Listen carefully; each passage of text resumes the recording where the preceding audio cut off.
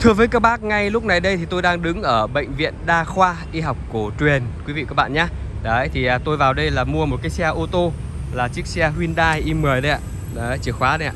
Tôi vừa mới xem xe rồi và tôi cũng đã lên phòng làm việc với à, bác trưởng khoa chủ xe của chiếc xe i20 quý bạn nhé.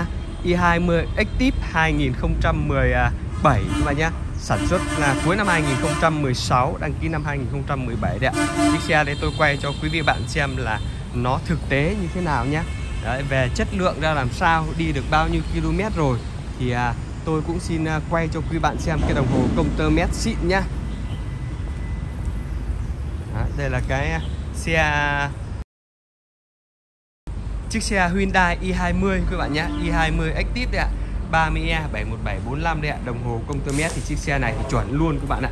Những bác sĩ Bác sĩ đồng ờ, chủ xe này là một bác sĩ trưởng khoa đấy ạ. Tôi vừa mới ở trên phòng bác ký xong đấy ạ.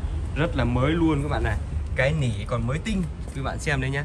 Chiếc xe này nỉ mới tinh và máy móc cũng còn nguyên bản hết luôn ạ. Tôi cho quý vị và các bạn xem này. Tôi nổ máy nhá. Đấy, tôi đã nổ máy lên rồi này. Đồng hồ công tơ mét của chiếc xe này 3 vạn 6 chuẩn đi các bạn nhé.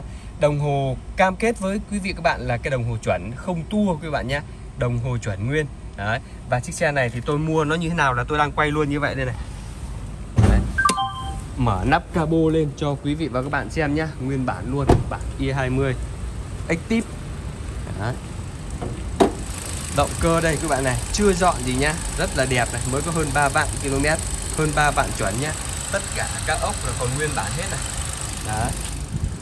Và chiếc xe này thì à, cũng xin giới thiệu với quý vị và các bạn nước sơn zin nguyên bản của xe này. Nước sơn zin còn nguyên, Chưa có một vết sơn lại tí nào đâu quý bạn nhé. Đấy. Sơn zin nguyên bản, Chưa sơn lại tí nào, Chỉ có xước sát này, Rất là ít thôi này. Đấy. Bác sĩ đi, Xước sát rất là ít do xe máy nó quẹt vào đấy ạ. Xước sát rất ít. Và đặc biệt là bác đã lên một cái dàn lốp Michelin mới tinh. Đấy, dàn lốp Michelin mới tinh vừa mới thay xong. Đấy Date 2022 này. Đấy. cả cái dàn lốp này.